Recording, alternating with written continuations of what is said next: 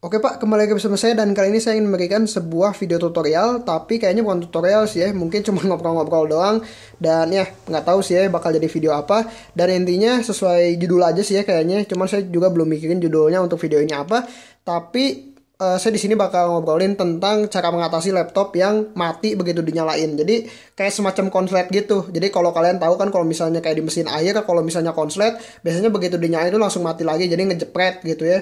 Nah ini terjadi sama kayak di laptop saya ini. Jadi begitu dinyalain itu langsung mati, itu kan. Jadi di kipas itu kan ada kipas kipas USB gitu ya begitu dicolokin dan dinyalain itu nanti uh, nyala sebentar mati lagi nggak sampai 5 detik nggak sampai dua detik juga enggak ya sekitar satu detik lah ya.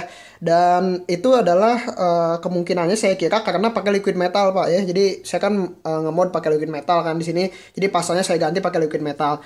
Nah atau mungkin juga karena di sini untuk thermal padnya saya ganti dengan uh, chopper atau mungkin tembaga.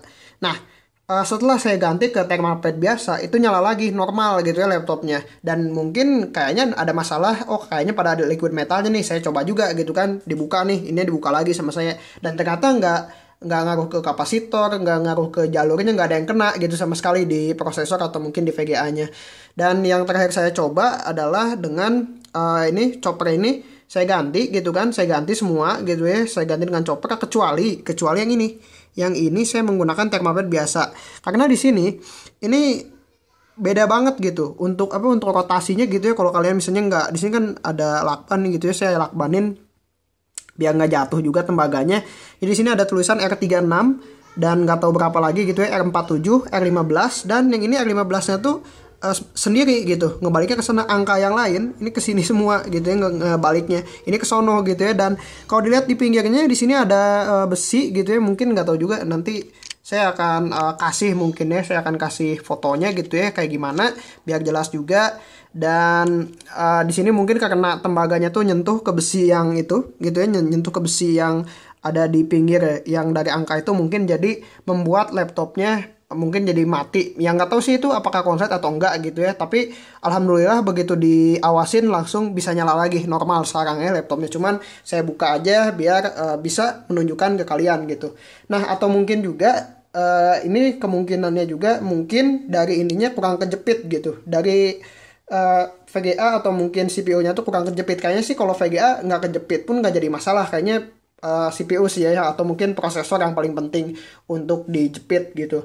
Jadi kalau nggak dijepit kurang kejepit itu biasanya jadi uh, mati sendiri jadi langsung mati. Kalau di PS gitu sih ya cuman ya nggak tahu untuk yang di laptop atau gimana. Nah jadi itu dia gitu ya untuk uh, videonya mungkin oh apa sih kok videonya nggak jelas videonya nggak membantu. Nah jadi kesimpulannya nih ya saya harus uh, bilang ada kesimpulannya gitu. Kesimpulannya adalah yang pertama kemungkinan gitu ya kemungkinan ada konslet gitu di uh, eh, VGA atau mungkin di CPU-nya, mungkin di jalur atau mungkin kalau di VGA itu ada semacam uh, kapasitor ya. Nah, kalau kok itu kena, mungkin bisa jadi konslet. Tapi karena saya nggak kena, berarti ada kemungkinan yang kedua. Yang kedua adalah besi ini gitu ya, tembaga ini menyentuh besi yang itu dan mungkin terjadi reaksi listrik atau mungkin uh, jadi apa ya nggak tahu gitu ya yang namanya elektronik kayak begini gitu kan ya agak sedikit random sih ya kadang-kadang.